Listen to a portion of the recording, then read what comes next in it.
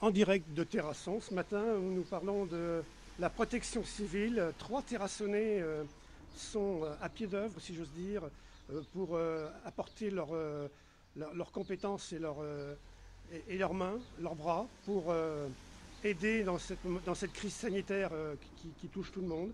Donc, est-ce qu'on peut vous demander de vous présenter Alors, Sébastien Brun à ma gauche, Richard Bock et j'ai perdu votre nom. Jérôme Charrier. Jérôme Charrier, tous les trois de la protection civile donc de Terrasson. Est-ce qu'on peut vous demander euh, de vous présenter et de euh, savoir à quel domaine, dans quel domaine vous intervenez? Oui, donc euh, moi c'est Sébastien Brun, donc j'ai 45 ans, domicilié à Terrasson.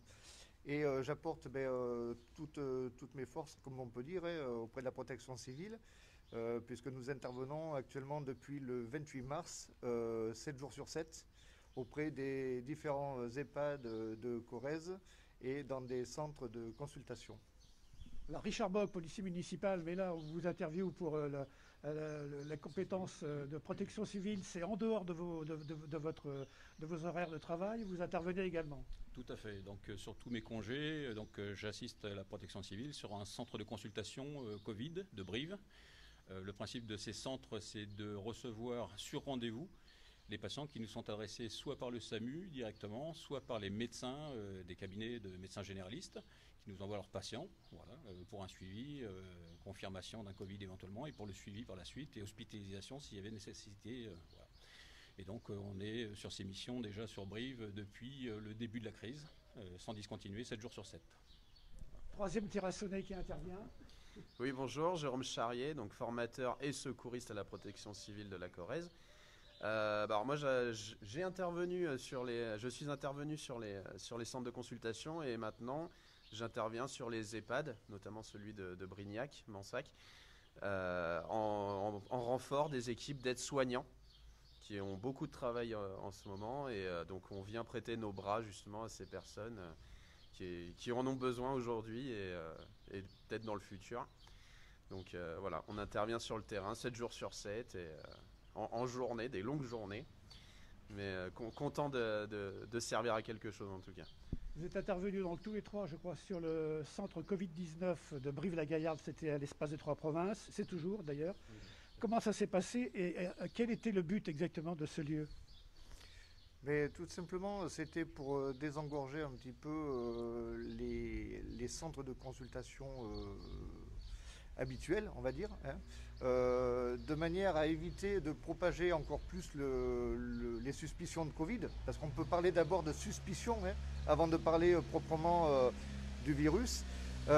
et à partir de là, bon, ben, moi j'étais chargé notamment de l'accueil des patients à l'extérieur du bâtiment. Je leur expliquais un petit peu le cheminement pour rentrer dans le bâtiment. Et à partir de là, ben, on, on passait tout un protocole sanitaire pour le patient avant qu'il passe à l'administratif et ensuite euh, euh, Richard euh, amenait le patient jusqu'au médecin. Quelles étaient les difficultés sur place? Oh, Les difficultés, il n'y en a pas spécialement, hormis cette impérieuse nécessité d'être très attentif à tout ce qui est hygiène et asepsie, bien évidemment, à chaque passage de patient. L'idée de ce centre, c'est vraiment de désengorger ces gens qui travaillent dans les services d'urgence et de réanimation, notamment de l'hôpital de Brive. Euh, nous, pour être honnête, hein, on est une toute petite pierre qu'on apporte à l'édifice. Hein. Ceux qui font vraiment le boulot, c'est ceux qui sont en première ligne aux urgences, dans les services de réanimation. Et euh, bah, ma foi, si on peut les aider à soulager un petit peu ces services, bah, c'est un peu l'objectif de la protection civile sur ces, sur ces missions-là. Il faut rappeler les gestes barrières, toujours bien sûr, euh, et bien sûr le gel hydroalcoolique, c'est ça? Oui, bien sûr. Pensez à bien se laver les mains, éviter le, contact avec des objets dont on n'a pas forcément l'utilité et qui peuvent surtout euh, faire l'objet justement de transmission du virus. Hein. on pense aux portables, aux montres, aux bijoux, tout ce qu'on touche inconsciemment.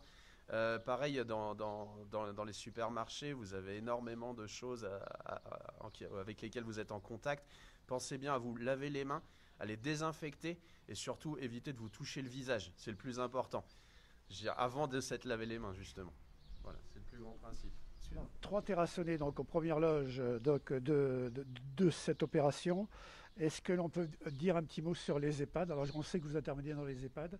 Euh, je pense que les, personnes veulent savoir un peu plus comment ça se passe, notamment dans les relations entre les résidents et, les familles. Hein. C'est quand même très délicat, je crois. Voilà, tout à fait. Donc, euh, ben, il y a tout un protocole euh, sanitaire qui est mis en place et par l'ARS et le Conseil de l'ordre des médecins et les directions des EHPAD. Nous intervenons dans de nombreux EHPAD sur la Corrèze actuellement, donc on dispatche un petit peu ben, toutes nos forces tant qu'on peut, hein, parce que forcément les effectifs sont quand même restreints. Euh, c'est pas évident. Maintenant, euh, ben, là, on a mis en place, notamment sur euh, Brignac et là sur Argentan maintenant à partir de lundi, un accueil des familles. Un accueil et un, accompagnement socio-psychologique. c'est pour ça que je suis moi sur Brignac. tout simplement parce que les familles qui n'ont pas vu leur lien de parenté depuis plusieurs semaines, lorsqu'ils arrivent à l'EHPAD, euh, qu'on leur explique que ça va s'arrêter derrière une porte et qu'on va communiquer avec le papa ou la maman euh, qui est relativement âgé avec un téléphone, ça peut être quelque chose de traumatisant. Donc là, moi, je suis là pour leur expliquer comment va se passer la visite et je suis là surtout pour l'accompagnement d'après-visite. Vous intervenez tous les trois aussi euh, dans les EHPAD Sur les EHPAD. En EHPAD également alors moi, je suis de l'autre côté de la vitre, justement. Je suis avec, auprès des résidents et auprès, avec justement ces équipes d'aides-soignants, d'infirmiers et de médecins. Euh, et un accompagnement donc avant les visites, se préparer à la visite de ses proches. Pendant la visite aussi, hein, même au niveau technique, parce que des fois il y a des problèmes de surdité, euh, il, faut accompagner le résident à pouvoir communiquer correctement par différents biais, avec cette barrière physique qui est la vitre, et surtout le après.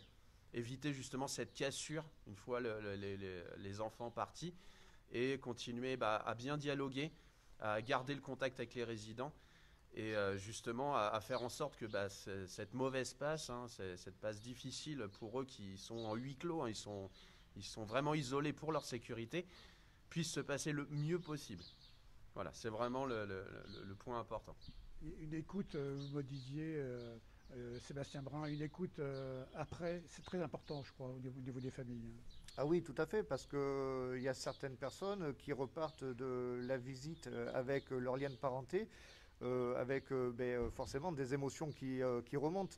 Donc on ne peut pas se permettre de laisser repartir les gens avec le trop plein d'émotions, sous peine après d'avoir un accident sur la route. Donc il est très important d'avoir cet accompagnement d'après-visite, bien sûr. Une écoute. Tout à fait, oui, oui, oui. De faire parler, et, tout à fait, oui. Merci à tous les trois. Merci d'être en première ligne, si j'ose dire. Et donc on remercie par, le, par cette opération du même coup tous ceux qui sont en première ligne. Euh, on ne va pas citer toutes les professions, mais il y en a beaucoup, hein, tous les soignants, tous les, euh, voilà, toutes les personnes qui sont en première ligne. Et donc on vous souhaite beaucoup de courage. Prenez bien soin de vous, tout le monde. Et donc à, bientôt et bon courage pour la, suite des opérations. Merci, c'est gentil. Merci pareillement. si je peux me permettre un, dernier mot, ne lâchez rien. On arrive bientôt, euh, on espère en tout cas, à la fin de cette triste période. Mais voilà, il faut que chacun euh, garde à l'esprit qu'on n'y est pas encore et qu'il faut vraiment voilà, rester vigilant. C'est la période la plus critique hein, qu'on va vivre là. C'est là, là que le relâchement arrive. C'est là que les erreurs arrivent. Il y a la fatigue, il y a l'agacement, il y a le plaisir aussi de retrouver euh, certaines personnes qu'on voyait au quotidien. Et c'est là que justement que le danger nous guette. Donc euh, rien lâcher et euh, ça durera moins longtemps. Merci. Merci à vous.